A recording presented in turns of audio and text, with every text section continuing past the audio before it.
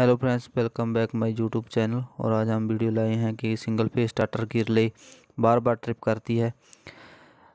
और वैसे पहले चैनल पर वीडियो डाल चुके हैं ट्रिप कर, करती है और क्या करें। और आज हम बताएँगे कि आप सोल्यूशन करने के बाद फिर स्टार्टर की रिले ट्रिप करती है और क्या करें। और सबसे पहले चैनल को सब्सक्राइब कर लें और बेल आइकन को प्रेस कर लें। ताकि आपके पास नोटिफिकेशन आ सके। और चलो वीडियो शुरू करते हैं। और वीडियो को लास्ट तक ज़रूर देखना, ताकि आपको पता लग सके कैसे ठीक करना है।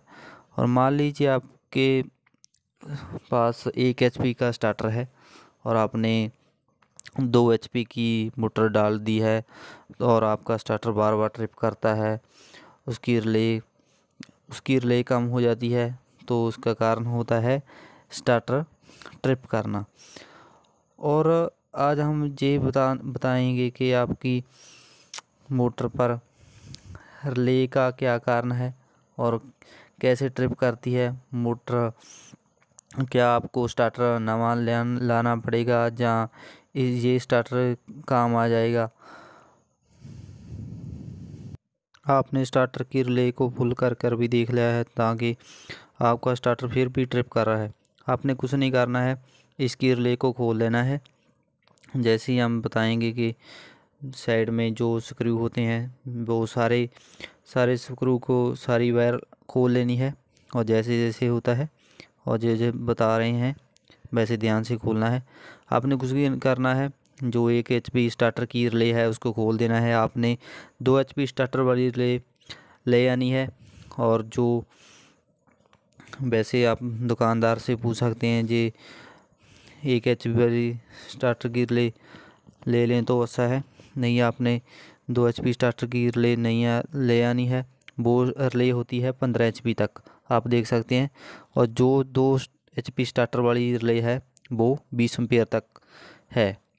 लेकिन आपकी मोटर के एम्पेयर ज़्यादा होने करके ये ट्रिप करता है और वैसे ये स्टार्टर चल पड़ेगा। और सबसे पहले हमने देखना है कि ये जो वायर है, ये पहले लगा लेनी है, बाद में ये दिक्कत आती है।